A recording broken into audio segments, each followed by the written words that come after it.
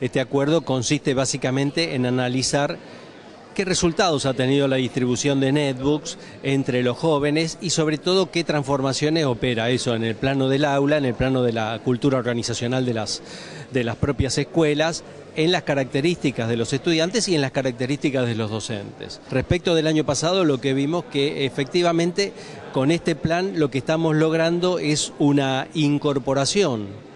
de miles y miles de jóvenes a la cultura digital que en muchos casos en aquellos de, los sectores de, sociales de, más ingresos lo tienen en la casa y que todavía no está incorporado en la escuela, y en los sectores de menores ingresos tampoco lo tienen en la casa y ahora lo incorporamos a partir de la escuela a las familias. Me parece que eso transforma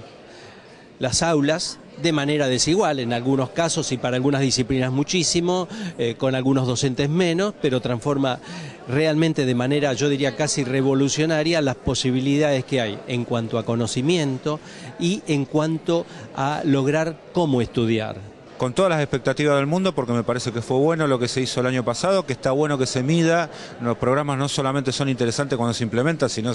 ver los resultados, no por lo que nos parece, sino por lo que efectivamente se puede medir. Así que nos parece interesante que se haga un estudio serio, responsable y que las universidades seamos de alguna manera los consultores privilegiados, entre comillas, del Ministerio para este tipo de, de trabajo. No alcanzamos todavía a medir o dimensionar la la verdadera amplitud que tiene este programa. Es, espectacular, las cosas que uno ve cuando ve los testimonios, cuando lee las, las encuestas que se hicieron a, los chicos, a los docentes. Cambió todo, porque cambia no solamente en los alumnos, sino también a, los docentes, o sea, sobre todo a los docentes. Cambia la relación con la familia, cómo las familias se integraron, cómo las familias que antes no podían ayudar a los chicos, hoy de alguna manera los chicos los integran a ellos, es al revés. Cuando nosotros éramos chicos eran nuestros padres quizás los que nos, nos eh, seguían a nosotros hay, un cambio metodológico muy muy fuerte, no solamente en lo pedagógico, que de hecho lo tiene, sino también en cuanto a las relaciones, y creo que esto es lo más importante del programa.